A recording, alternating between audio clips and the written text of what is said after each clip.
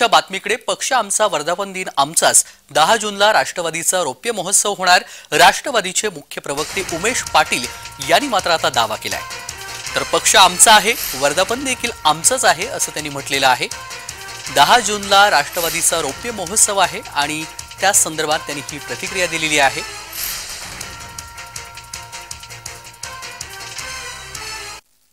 अर्थात राष्ट्रवादी काँग्रेस पक्षाचा प्रत्येक कार्यकर्ता हा राष्ट्रवादी काँग्रेस पार्टीचा वर्धापन दिन साजरा करणार.